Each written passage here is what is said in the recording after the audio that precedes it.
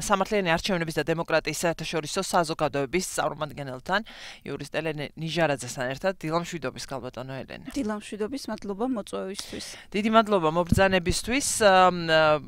ბატონმა მიხეილ ბენიძემ ჩვენთან სტუმრობისას ახლახან იყო, როცა საბოლოო ანგარიშზე ვლაპარაკობდით არჩევნების, მაშინ დაანონსა. ჩვენს ეთერში, რომ ძალიან მალეო და მართლაც რამდენიმე დღეში გამოაქვეყნეთ ძალიან მალე გვექნება სპეციალური ანგარიში, რომელიც შეეხება იაკერზაიას საქმესო და და აი ეს ანგარიშიც გუშინ გასაჯაროვდა ანგარიში გარკვეული ესე ვთქვათ ეჭვებით და დასკვნებით, ასევე რეკომენდაციებით ეს ამბავი არის არ ვიცი როგორ დავარქვა, ძალიან სერიოზული შემთხვევა თუ შეიძლება ასე ითქვას.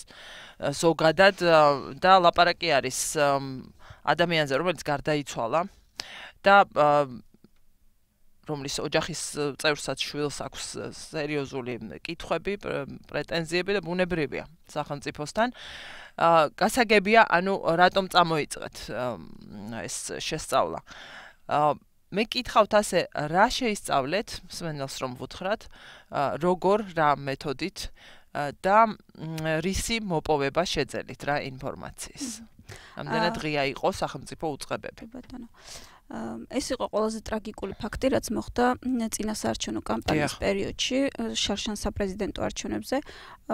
ზოგადად როგორც იცით, ჩვენ გამოაქვეყნეთ ანგარიში და ძალიან ძიმე წინასაარჩევნო კამპანია იყო, განსაკუთრებით პირველიდან მეორე ტურს შორის პერიოდში და ძალიან ბევრ დარღვევას ჰქონდა ადგილი, მაგრამ ეს იყო ყველაზე ძიმე ფაქტი, რაც მოხდა და თავიდანვე საქმის გარემოებებიდან გამომდინარე, როდესაც ქალბატონმა იამ გააკეთა განცხადება რომ მასზე ხორციელდებოდა ზეწოლა მას თხოვდნენ ხელმოწერების შეგროვებას თანამშრომლების ჩართვას წინასაარჩევნო კამპანიაში მართველი გუნდის ქართული ოცნების მიერ მხარდაჭერილი კანდიდატის სასარგებლოდ და შემდგომ ეს მოვლენები ესე განვითარდა და დასრულდა ძალიან ტრაგიკულად თავისთავად ამან განაპირობა ის რომ ჩვენი ინტერესის არეალში მოექცა და ძალიან დიდი დრო დაუთმეთ ამ საქმის შესწავლას. აა ჩვენ შესწავლა განვახორციელეთ ძალიან ბევრი საშუალების გამოყენებით გამოვითხოვეთ საჯარო ინფორმაცია სამინისტროდან, ასევე გქონდა გასაუბრება ადგილზე იმ პირებთან, ვინც დაგუთანხმდა სკოლაში დასაქმებულები არიან და იცოდნენ ფაქტობრივი გარემოებები და ზოგადად შევისწავლეთ საკანონმდებლო ბაზა, რომელიც არეგულირებს მთლიანად ინსპექტირების საკითხებს. პირველ რიგში აუცილებლად უნდა აღვნიშნო, რომ ჩვენ ცოტა გაგვეწელა ანგარიშის გამოქვეყნება, სწორედ იქიდან გამომდინარე, რომ სამინისტრომ ძალიან დაგვიანებით მოგვეწოდა ინფორმაცია.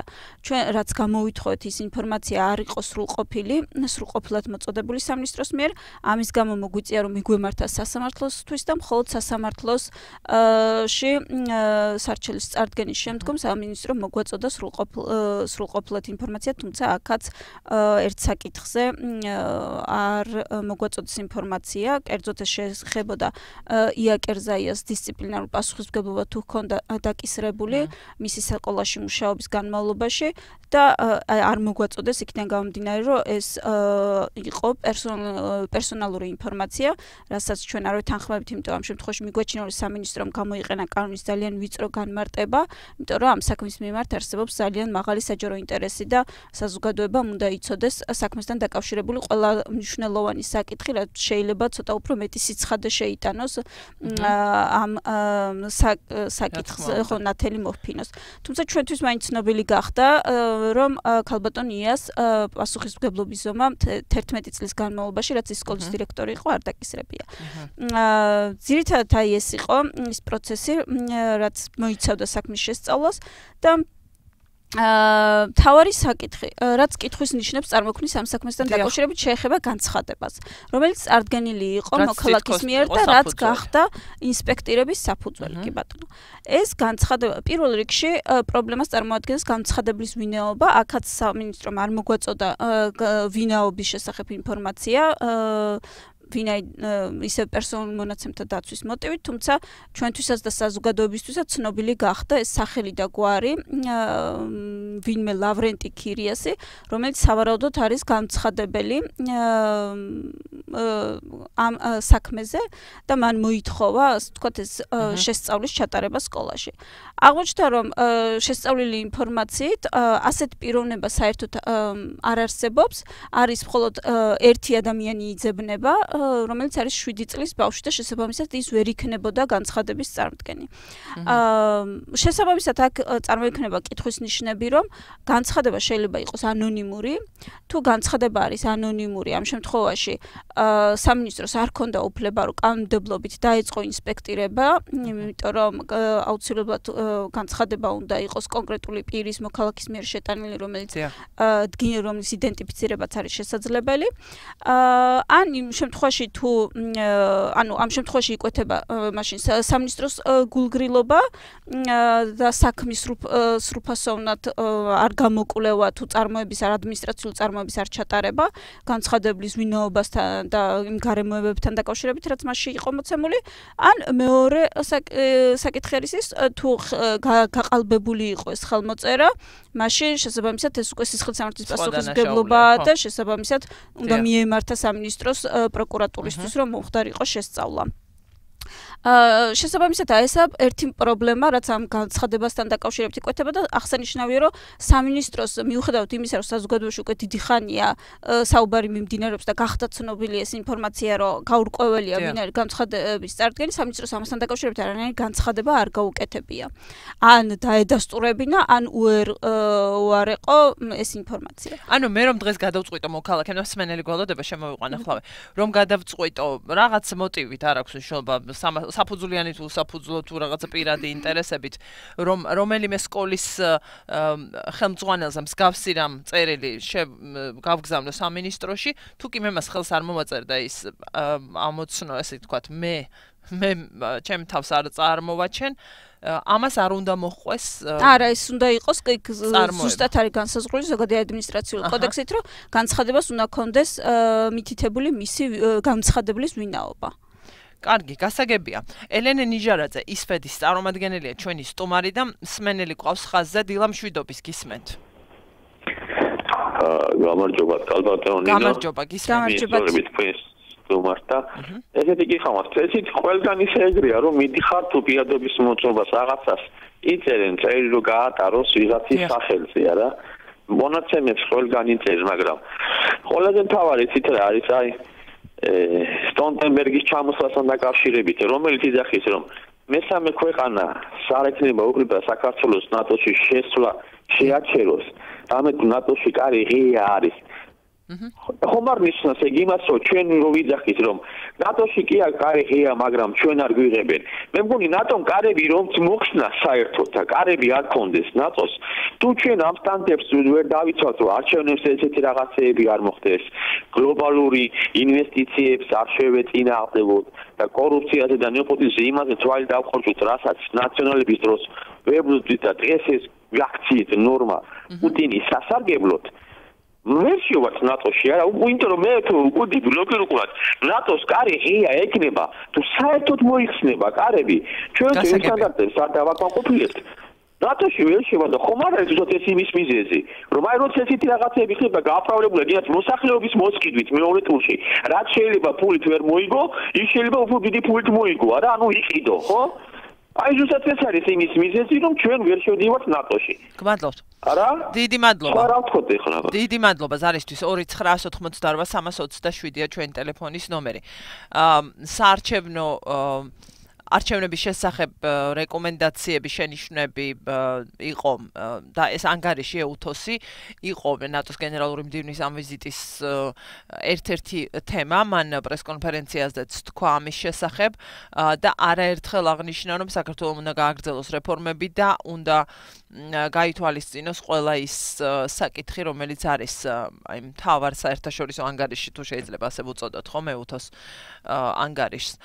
ასე რომ ხო ეს რა თქმა უნდა ყურადღების ქვეშ მოექცა. ეს ფაქტიც ახლა რაზეც ვლაპარაკობთ ისიც რაც თქვენ აღნიშნეთ ვალების განულების კამპანია და ასე შემდეგ გისმენთ ბოდიში. ხო რომ გავაგრძელოთ ისე ამ განცხადებასთან დაკავშირებით მეორე მნიშვნელოვანი გარემოება იყო ის რამდენად სწრაფად მოხდა განცხადების განხილვა და გადაწყვეტილების მიღება. განცხადება შევიდა 8 ნოემბერს სადღაც შუა დღეზე 2 საათისთვის და გადაწყვეტილება მინისტრმა ინსპექტორების ჩატარების გეგმის დამტკიცების ინსპექტორების ჯგუფის დადგენის შესახებ მიიღო 6 იმავე დღის 6 საათზე. სხვა პრაქტიკები ვიცით? ხო, ამაზე გამოვითხოვეთ ჩვენ ინფორმაცია და პირველ რიგში გამოიკვეთა ის რომ სამინისტროს არ აქვს რაღაცა სტანდარტი დადგენილი სტანდარტი რავადებში ახდენს რეაგირებას ამ განცხადებებზე. არის შემთხვევები, როდესაც გადაწყვეტილების მიღება ხდება იმავე დღეს, თუმცა ეს არის ძალიან მცირე რაოდენობა ასეთ შემთხვევების. არის შემთხვევები, რომ მეორე ან რამდენიმე დღის შემდეგ ღებულობს გადაწყვეტილებას და არის ასევე შემთხვევები, როდესაც რამდენიმე თვე სჭირდება გადაწყვეტილების მიღებას. ამ შემთხვევაში სხვათა შორის აღსანიშნავი არის, რომ კიდევ ორ სხვა სკოლასთან დაკავშირებით იყო შეტანილი იმავე 8 ნოემბერს განცხადება და ამ ორ სხვა განცხადებაზეც იმავე დღეს არის გადაწყვეტილება მიღებული. ანუ პრაქტიკულად სამ განცხადებაზე ერთ დღეს მიიღო მთელი ეს პროცესი დაწყებული შესწავლიდან დეპარტამენტის მიერ სამინისტრის თვალის გადაგზავნა, მინისტრის მიერ დადასტურება, გადაწყვეტილების მიღება, ბრძანების გამოცემა მოხდა რამდენიმე საათში სამ სხვადასხვა სკოლასთან დაკავშირებით. აქვე აუცილებლად უნდა აღვნიშნოთ ის, რომ ზოგადად ინსპექტორება 2018 წელს ჩატარდა 7 ჯერ და აქედან 6 შემთხვევაში ინსპექტორება ჩატარდა პირველიდან მეორე ტურს შორის პერიოდში, ანუ წინა საარჩევნო კამპანიას ემთხვევა 6 ინსპექტორება. თუმცა სხვა შორის აღსანიშნავია, რომ განცხადებები წარდგენილი იყო, სადღაც 200-ზე მეტი განცხადება იყო მოქალაქეების მიერ წარდგენილი, თუმცა აი მარტო 7 შემთხვევაში დაკმაყოფდა და აქედან 6 შემთხვევა წინასაარჩევნო კამპანიას ემთხვევა, რაც ასევე რა თქმა უნდა ძალიან სერიოზულ ეჭვებს წარმოქმნის, რა საჭირო იყო ასე მოკლევადებში, თქვათ ამ ინსპექტორების ჩატარება. და რამდენად ზოგადად შესაძლებელია, რომ სამინისტროს ნაირი მსხვილი დაწესებულება, რომელსაც თავისი რაღაცა ბიუროკრატიული აქვს ადმინისტრაციულ წარმოებას თავისი ვადები სჭირდება, ასე სწრაფად იღებდეს გადაწყვეტილებას. შესაბამისად ეს აჩვენს აჩენს რა თქმა უნდა კითხობს რომ აა სავარაუდოდ იყო გარკვეული ხომ არ არსებობდა გარკვეული ინტერესი სწორედ ამ სკოლების მიმართ აა და შეიძლება ისიც ვივარაუდოთ, რომ წინასწარ ხომ არ იყო ცნობილი ამ განცხადებების წარდგენის შესახებ. აქვე დავამატებ, რომ ჩვენ სხვა დანარჩენ ორ სკოლასთან დაკავშირებით ეს დეტალურად არ შეგვისწავლია საქმის გარემოებები, თუმცა აუცილებლად ვაპირებთ, რომ ეს საკითხი შევისწავლოთ. აქვე კიდევ ერთი მნიშვნელოვანი საკითხი, რაც ჩვენ გამოვკვეთეთ, არის ის, რომ ეს სამი განცხადება სხვა სხვადასხვა სკოლასთან დაკავშირებით ძალიან ძალიან გავს ერთმანეთს. სტილისტურად, შინაარსობრივად, ვიზუალურად ვიზუალურად ძალიან ემთხვევა ერთმანეთს. აი მსგავს ერთ. ახლა დაახლოებით წაგიკითხავთ მაგალითად თბილისის 124 სკოლასთან დაკავშირებით წარდგენილ განცხადებაში ვკითხულობთ ესეთ რაღაცას, რომ შესყიდვის წესი რა არის, არიცის და არც არად დაგიდევთ. აჰა. ესეთი რაღაცა ხო. აა თბილისის 155 სკოლასთან დაკავშირებით განცხადებაში ყიდვის წესი რა არის არიცის და არც არად დაგიდევთ. და ეს ახლა ზუგდიდის მე-6 საჯარო სკოლასთან დაკავშირებით წარდგენილი განცხადება შესყიდვის წესებსა და ამოცანებს არაფრად დაგიდევთ. და ასე შემდეგ. ანუ ძალიან ემთხოვა თან ეს ტერმინები რაც გამოყენებულია როგორც წესი სალაპარაკო ენაში ესე ჩვეულებრივად არ გამოიყენება და ძალიან საჭირო აი სტილ ვიზუალურადაც რო შეხედოთ ეს განცხადებები აბზაცები თან მიმდევრობა ძალიან გავს ერთმანეთს რაც დამატებითი ეჭვების საფუძველი არის. აჰა. აი ეს იყო იმ დანარჩენო ორ განცხადებას განცხადების ავტორები აქაც რა თქმა უნდა ესენი დაშტრიხულია ჩვენთვის ხო თუმცა ჩვენ შევეცდებით რომ შევისწავლოთ ეს განცხადებებიც და შემდგომ ამ განცხადებებზე ანუ სასამართლოს გზით აპირებთ ამის მოპოვებას ისე. სამინისტროდან გამოვითხოვთ ინფორმაციას და ნახოთ თუ არ მოგვაწოდა სამინისტრომ ისე მოგვიწევს შემდგომ სასამართლოსთვის მიმართვა. სმენელი გველოდება ქალბატონო ელენე. დილამშვიდობის დაგველოდეთ? გამარჯობა. გამარჯობა. მაქვს ხოგეს მით ქალბატონო. კი, კი, მოგესალმებით. ძალიან კარგი მე მესმის ყველაფერი ალბათ არ ვიცი იცით რა მასწავლებელი მასწავლებელი გავიგეთ რომ ეს საპატიოსაციმო პროფესიაა და კი ბატონო მაგრამ ესე ყველაფერზე თვალების დახუჭვა და არაფრის თქმა მე არ მგონია რამე შედეგი მოიტანოს ამან თამას კვაჭანტირაძე ხო გახსოვთ მინისტრი რო იყო. მისი მინისტრობის დროს 100 დოლარად იყიდებოდა ოროთახიან უნივერსიტეტებში დიპლომები. ხო იცით? არა ეხლა დამალულია ეს ფაქტი არავინ იცის თუ რა. მე რეკიდე ეს მასშტაბლებლები პატიცემურო თქვენ სტუმარს მიმართავ ყველა პრეზიდენტის და ყველა ხელისუფლების დროს რო პარტიულ აქტივისტებად რო გადაიქცნენ ეხლა ნებით უნებლიეთ ზეწოლა კარგით რა მართლა და მართლა ეხლა რომელი საუკუნეა რომელი შუა საუკუნელი შუა საუკუნები ხო არა ზეწოლა ზეწოლა. გამოდი ხმა მოიღე ეხლა იმის გულის ერთი წუთი ქალბატონო ნინო რა 300 ლარი არ დავკარგო ხელფასი და სიებით უნდა ვირბინო წინ და უკან რო ვემად ვაიმე არჩევნები ვინ ვინ მოიგებს არ არის ეს კარგი საქმე ჩემო ბატონო და წადი რა გეოგრაფია ასწავლე რაც გევალება და თუ ეს გეოგრაფიას ვერ ასწავლი და გინდა პარტიული აქტივისტობა კი ბატონო ჩაეწერე პარტიაში იყავი პარტიული აქტივისტი. მე რასაც ხედავ ბატონო ჩემო არ არის ეს მოსაწონი და კარგი რაც ამ ქვეყანაში ხდება მასშტაბლებთან მიმართებაში კაცო. ეს ხალხი გადაიქცა პარტიულ აქტივისტებთან. შეიძლება მე მეჩვენება არ ვიცი მაგრამ რა ვიცი ახლა ეს ხედავ რომ გასაგებია რაც არ მოხდა. არ აქვს არ აქვს მნიშვნელობა ერთი კითხვა მაქვს რა. ალო გესმით კი, გვესმის ბძანეთ. აი, გერმანიაში ხო ტარდება კაცო არჩევნები და იქაც არის სკოლები და მასწავლებლები. ინგლისში, საფრანგეთში, იქ როგორ არის ახლა? მასწავლებლები მართლა დარბიან კაცო სიებით ხელში არჩევნების წინ, რომ ბუნდესტაგში ვინ გაიმარჯვებს, მერკელი გაიმარჯვებს თუ იმისი ოპონენტი. არ აკეთებენ ამას ხო? გერმანელი გეოგრაფიის მასწავლებელი ასწავლის გეოგრაფიის მორჩა ისტორია. გამადლობთ. ანუ არ ვიცი. გავიგე, ანუ გასაგებია რა არ მოსწონს მსმენელს, მაგრამ ეს რა კავშირშია, ასე ვიტყვი, ან რას ამ ანუ რატომ გაწყრა იმაზე, რაზეც ლაპარაკობს დღევანდელი ჩვენი სტუმარი?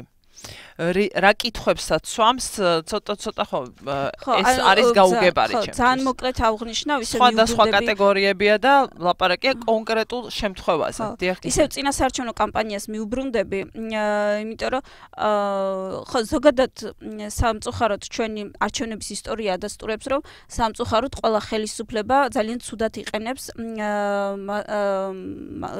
სკოლებს თუ ბაღებს საარჩევნო პროცესში და სულ გვაქვს ეს პრობლემა პრობლემა რო ხდება ამ დაწესებულებებში დასაქმებულ ადამიანებზე ზეწოლა რომ ისინი ჩართულები იყვნენ წინასაარჩევნო კამპანიაში.